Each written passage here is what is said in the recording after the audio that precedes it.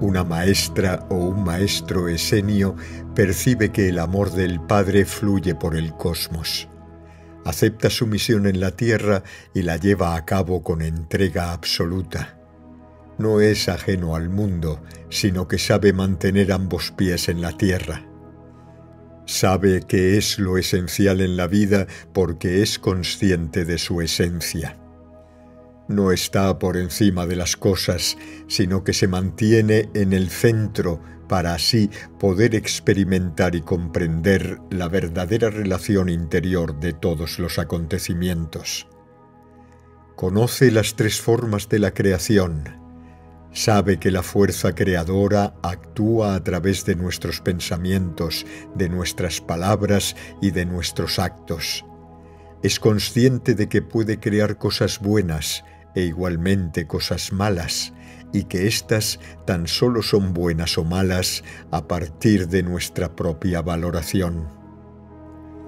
Sabe que lo más importante en el universo es el equilibrio, la armonía entre el bien y el mal. Reconoce que la luz no puede ser luz sin la sombra y que todo tiene y necesita tener su polo opuesto. Vive en unidad con todas las estructuras vivientes y con todos los seres vivos. El profundo respeto que siente hacia la chispa divina que mora en el interior de cualquier ser vivo le impide maltratar a las criaturas indefensas y causarles cualquier daño o dolor. Considera a todos los seres vivos como un templo del Padre Celestial la tierra y la naturaleza son para él como una madre viviente, la madre asistente que le ampara y sana su cuerpo, su mente y su alma.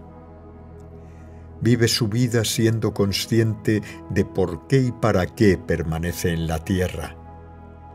Reconoce los principios fundamentales del aprendizaje y acepta la ley de la compensación entre todos los seres vivos sabe que todo lo negativo y enfermo solo se origina a partir de la desarmonía.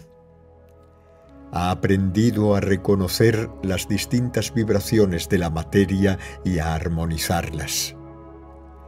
Sus pensamientos no están limitados a su vida actual. Es capaz de ver el progreso del mundo como un perpetuo presente en el cual el tiempo, pasado, presente y futuro son uno solo y se mantienen en armonía divina. Vive en constante unión con todo, de modo que nunca se siente solo ni aislado y sabe diferenciar lo imperecedero de lo transitorio. Su alma serena reposa en el regazo del Padre y sabe que éste le guía a través de sus ángeles. Para él, la muerte es el primer paso del camino de regreso al hogar, un nacimiento que le devuelve al ser original. Con todo su ser ofrece el amor del Padre-Madre, el cual siempre mora en su interior, y junto a ese amor irradia paciencia, comprensión y bondad con la placidez de los iniciados.